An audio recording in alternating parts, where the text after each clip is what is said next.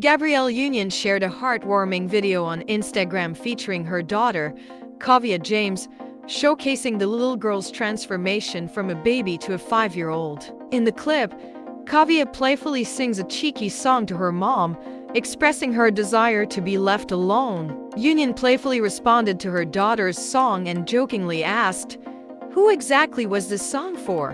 Dwyane Wade, Union's husband and Kaavia's father, added his thoughts in the comments section, and Union later reposted the video, emphasizing how fast children grow up. The couple has a blended family, including Wade's children from previous relationships.